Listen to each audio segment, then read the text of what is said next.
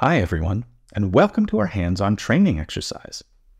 In this exercise, you will learn how to derive a soil property, soil organic carbon, or SOC for short, in the EnMAP box by applying machine learning methods, namely random forest and partial least squares regression. We will be working on an airborne image recorded in October 2015 by the HySpex sensor over our bare or semi-bare study site in Demmin. This area in northern Germany is characterized by its glacial past and is largely used for agriculture. Here you can find relics of the Ice Age, such as kettle holes, small hollow shapes whose formation is attributed to the burial and subsequent thawing of an ice lens. Today, these structures are usually overgrown by vegetation or hold small ponds. Due to several reasons, SOC accumulates in these areas and higher contents are measured you can already guess from the darker soil color. Now, let's look at the data. Instructions on how to access and download the data can be found below. In addition to the imagery, there is a point data shapefile with 37 sampling locations and information on SOC contents in gram per kilogram soil. Let's get going. If you haven't done so already, open your QGIS desktop please ensure you are running a current version and make sure you have an up-to-date EnMAP box plugin installed. Instructions on how to install the EnMAP box can be found in the info box below. Now, launch the EnMAP box by clicking on the EnMAP box icon and have a quick look at the data that we provided for download.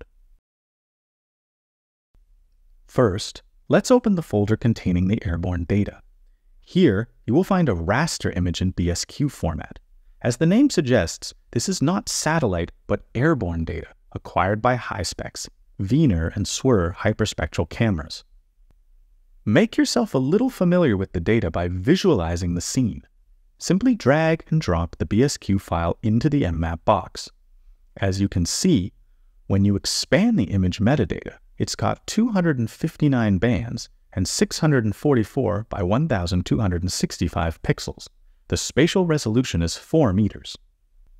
Now, display the image by right-clicking on the raster layer in the Data Sources window and selecting Open in New Map. As you can see, most display options are disabled, so choose Default Colors.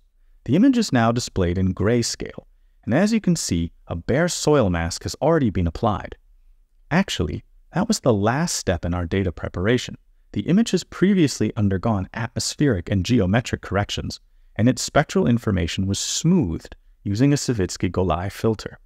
If you click on the little spectrum icon in the menu above, and then almost anywhere in the grayscale image, you can see that we transform the reference spectra to first derivatives.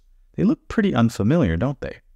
There are more possibilities for data transformations, but this one is widely used in soil spectroscopy since it enhances the relatively weak spectral features present in soils. In addition to the image data, we provided a shapefile. You can simply drag and drop it in the Data Sources window, and from there into the map view to display. This shapefile contains ground truth information, for example, the SOC content at the point locations where we collected soil samples in the field. The soil samples have been sent to a laboratory for chemical analyses. Okay, I think we're on a good start to the analysis. Let's go.